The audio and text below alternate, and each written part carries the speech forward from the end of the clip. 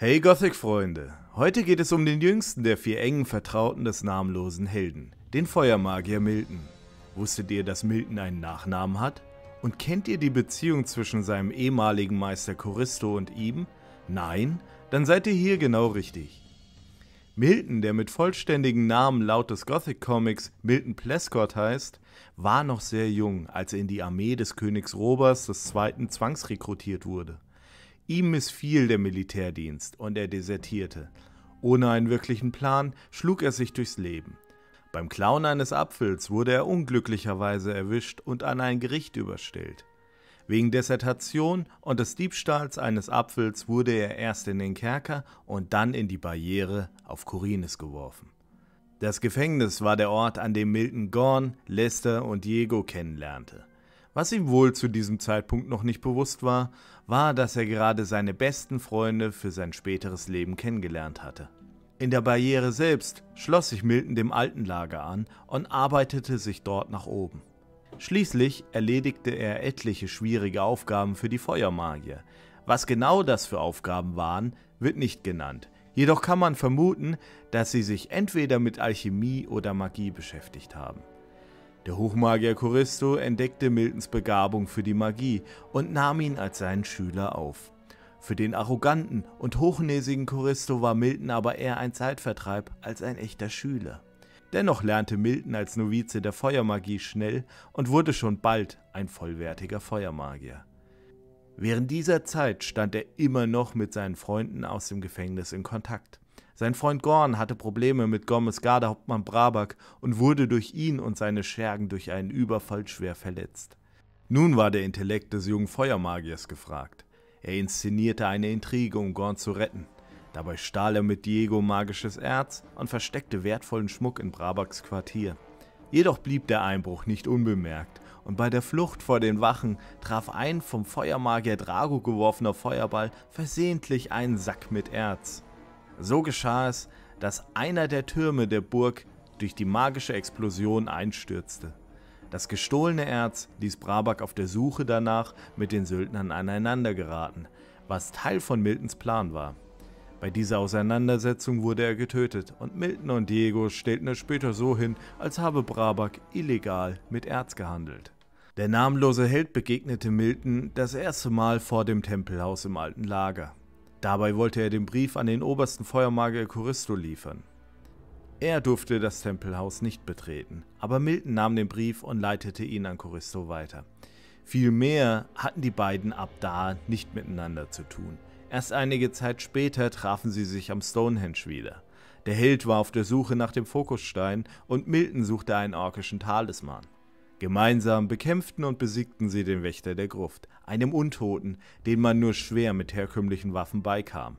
So half Milton dem Helden mit einer Spruchrolle und zusammen konnten sie das bergen, was beide suchten. Nach diesem kleinen Abenteuer bahnte sich eine Freundschaft zwischen dem Namenlosen und Milton an. Bei seiner Rückkehr ins alte Lager erfuhr Milton, dass Gomez die Feuermagier hinterrücks hatte ermorden lassen. Milton entkam den blutrünstigen Gardisten nur, indem er geistesgegenwärtig die Lage erkannte, in der er sich befand und flüchtete. Zusammen mit Diego postierte er sich vor den Toren des Lagers und warnte Mitglieder der anderen Gruppierung vor einem Besuch des jetzt feindlich gestimmten alten Lagers.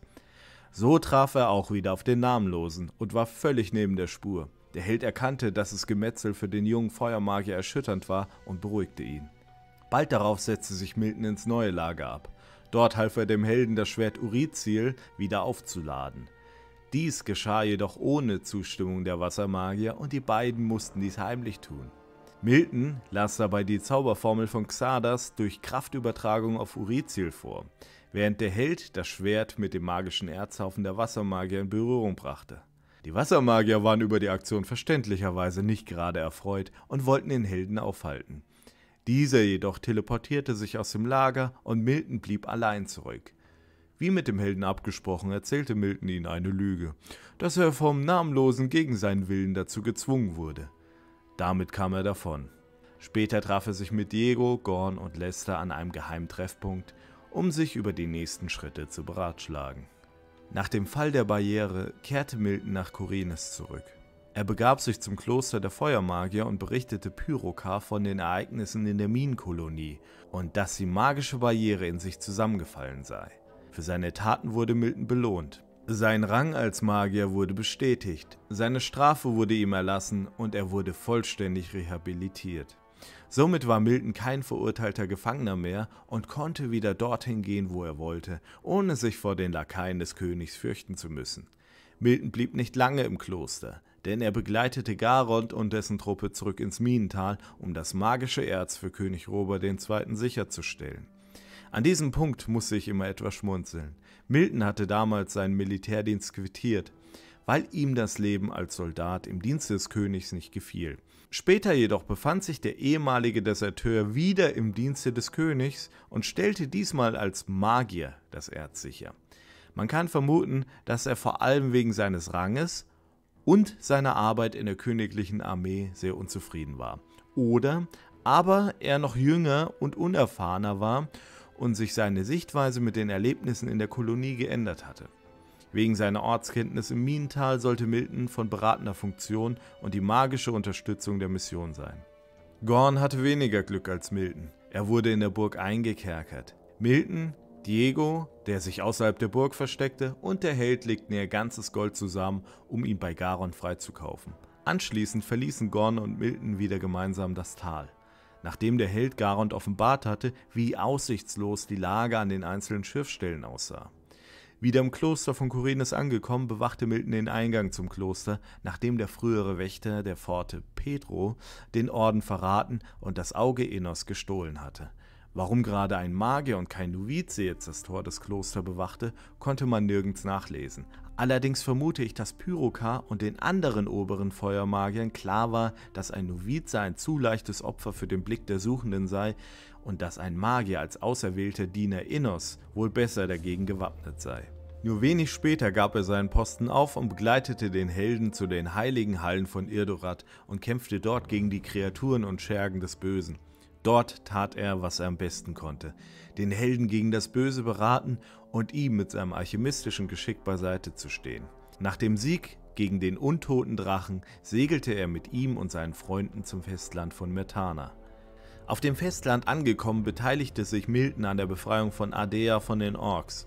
In Ardea stellte er auch fest, dass seine Runen ihre Kraft verloren hatten und er somit seiner Kräfte als Magier beraubt wurde. So wanderte er nach der Befreiung Ardeas auf der Suche nach der alten Magie Richtung Norden in die Eiswüsten von Nordmar. Unterwegs begegnete ihm der Paladin Olivier und die beiden reisten gemeinsam. Im Nordmar-Kloster angekommen, studierte er die alten Schriften und lernte einige Zauber der alten Magie, die den Magiern erlaubte, Zauber sogar ohne Ruhen wirken zu können. Milton beteiligte sich auch an der Suche und Erforschung der alten und magischen Kelche der Paladine, den Feuerkelchen. Im Heiligtum des Klosters bereitete er sich mit der Hilfe des namenlosen Helden darauf vor, die Kräfte der Kelche in der heiligen Flamme zu erneuern, um dem Paladin eine Waffe im Kampf gegen das Böse wiedergeben zu können. Nachdem der Held aus Metana verschwand, blieb Milton erst einmal im Kloster von Nordmar. Später wurde er von Torus entführt welche ihn dazu zwang, ihm das Auge Innos zu geben, um eine uralte Bestie zu beschwören. Nachdem er befreit wurde, half er dem Helden im Kampf gegen die Schwarzmagier von Torus und schwor ihm, nachdem er sich zum neuen König gekrönt hatte, die Treue. Nein, Scherz. Das gehört nicht mehr zum Kanon. Zum Glück. Das klingt, als hätte sich das ein 14-Jähriger ausgedacht, der das Spiel einmal zur Hälfte durchgespielt hatte. Die offizielle Lore endete mit Miltons Verbleib im Kloster von Nordmar. Aber Spaß beiseite. Was macht den jungen Magier eigentlich aus? Milton ist in Anbetracht der Lore und seines Aussehens vermutlich Mitte bis Ende 20, mit braunem kurzen Haar, das mich immer ein wenig an das des früheren Ingo Appelt erinnert. Er trägt die Robe der Feuermagier und fungiert auch als Lehrer für den namenlosen Helden in Sachen Magie. Er fällt besonders durch sein ruhiges und doch sehr reifes Wesen auf. So ist er immer zur Stelle, wenn seine Freunde Hilfe benötigen und nutzt seinen scharfen Verstand, um zum Beispiel Gorn aus der Patsche zu helfen. Außerdem verhält er sich sehr pflichtbewusst und treu den Feuermagiern gegenüber. Dies beweist er, als er zum Beispiel direkt nach dem Fall der Barriere zu den Feuermagiern zurückkehrte und auch an kleinen Dingen, wie dass er seinen engen Freund, den namenlosen Helden, nicht einmal ohne weiteres im dritten Kapitel von Gothic 2 ins Kloster lassen wollte. Er benötigte zunächst erst ein Ermächtigungsschreiben von Lord Hagen, wenn dieser den Söldnern angehörte. Auch in Irdorat machte er sich Sorgen, ob der Held an das Auge Innos gedacht hatte und hielt sich bei Themen zurück, zu denen er seiner Aussage nach nichts Intelligentes sagen könnte. Das alles macht Milton für mich zu einem der liebsten Charaktere im Gothic-Universum. Ein junger Magier mit viel Potenzial, wie auch schon Choristo erkannte, der großen Wert auf seine Pflichten, dem Erforschen und der Weitergabe von Wissen und die Unterstützung seiner Liebsten gibt. Das war's mit der Gothic Lore zu Milton. Ich hoffe, euch hat das Video sehr gefallen. Wenn ja, dann schaut doch gerne mal auf meinem Kanal vorbei. Ich habe zu allen anderen Charakteren auch schon eine Gothic Lore erstellt. Könnt ihr euch gerne mal angucken, gibt es eine Playlist dazu. Ansonsten habe ich noch Guides und Let's Plays. Lasst doch gerne Likes und Kommentare da, gerne auch ein Abo. Und dann würde ich einfach sagen, bis zum nächsten Mal. Lasst euch nicht runterziehen, habt noch einen schönen Tag und tschüss.